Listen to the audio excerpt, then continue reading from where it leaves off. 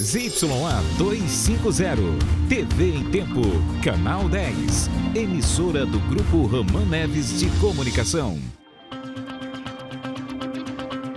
Sob suspeita, perícia analisa se filho de técnica de enfermagem morta dentro de casa tem participação no crime. Acidente, homem morre, encapotamento na BR-174. Ele seguia para Presidente Figueiredo. Imunização, grávidas devem receber vacina contra coqueluche aqui na capital. Natal dos Correios, campanha espera mobilizar padrinhos para realizar o sonho de Natal de crianças carentes. Você vai ver ainda a produção de guirlandas, anjos e até árvores de Natal feitas com material reciclável. Obrigado pela audiência, já estamos no ar.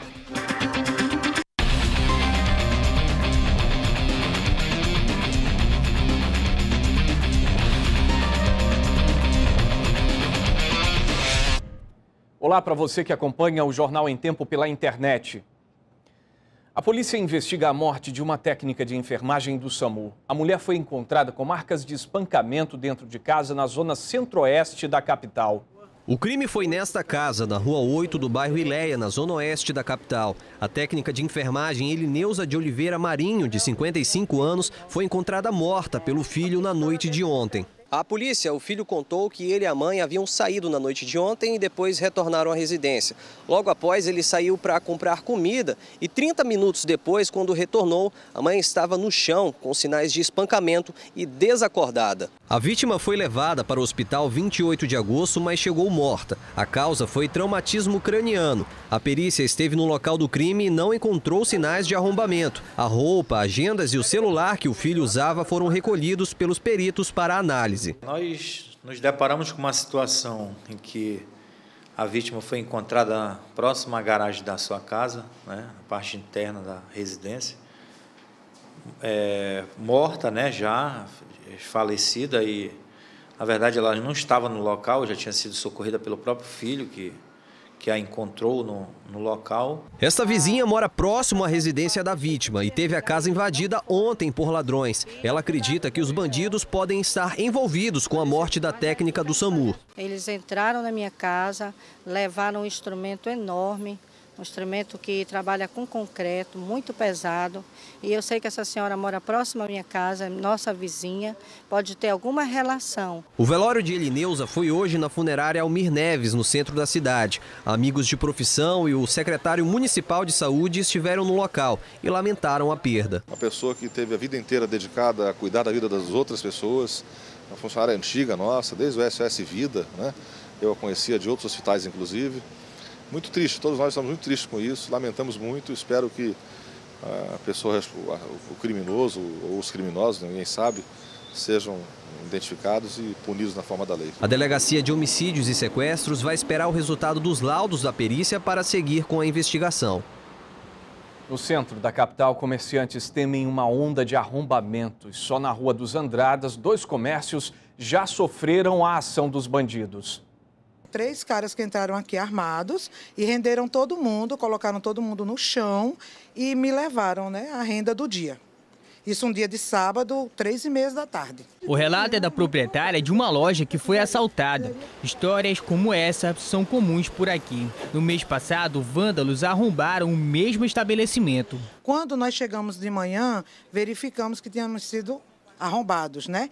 Então roubaram os computadores, levaram e destruíram a frente da loja. O prejuízo chegou a 5 mil reais. Os suspeitos aproveitaram a madrugada para entrar em ação. E para evitar maiores problemas, o comerciante é obrigado a fechar mais cedo.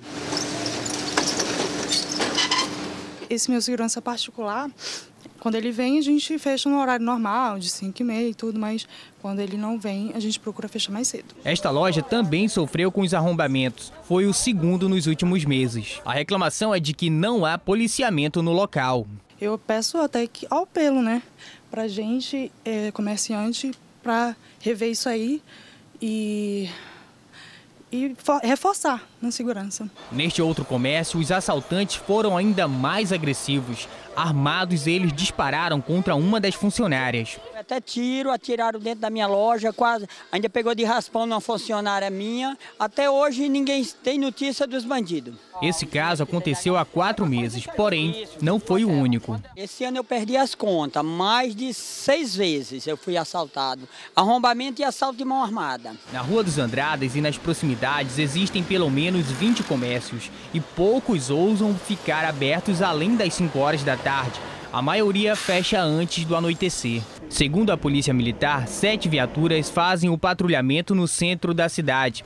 De acordo com o Major Navarro, do Comando Geral da PM, essas situações serão verificadas. Essa informação que nós estamos recebendo, é, nós iremos trabalhar em cima, principalmente no horário específico que foi informado, porque, segundo informações, há, há o adentramento de algumas lojas pelo horário da noite, em algumas ruas. Ainda segundo ele, é importante também que os proprietários façam um BO sempre que houver um caso desse tipo. É de suma importância que o proprietário registre essa, essa ocorrência na delegacia para que a delegacia e conjunto com a Polícia Militar, a Polícia Civil, irá fazer um planejamento tendo ciência desses horários e irá planejar juntamente com o CIOPS. A Câmara de Dirigentes e Lojistas de Manaus, CDLM, também tem se preocupado com a situação. Recentemente houve uma reunião com a Secretaria de Segurança para resolver o problema. Nós consumimos a primeira é, contato que tivemos que está acontecendo nessa, naquela região, nós tivemos contato com, com o comandante Vital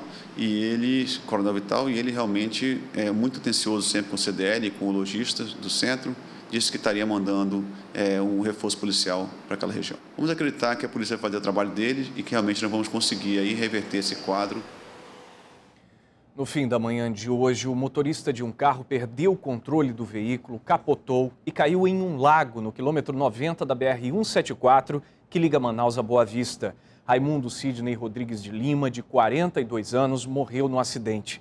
Ele estava sozinho e seguia para o município de Presidente Figueiredo. Um vídeo feito por pessoas que acompanharam o resgate mostra o momento em que o corpo é retirado do carro, mas sem vida. Ele foi resgatado por motoristas que passavam na rodovia no momento do acidente. Veja instantes, dois homens são presos com 5 quilos de cocaína em Humaitá, no sul do Amazonas. E ainda, grávidas devem receber vacinação contra coqueluche. Casos da doença têm aumentado entre recém-nascidos.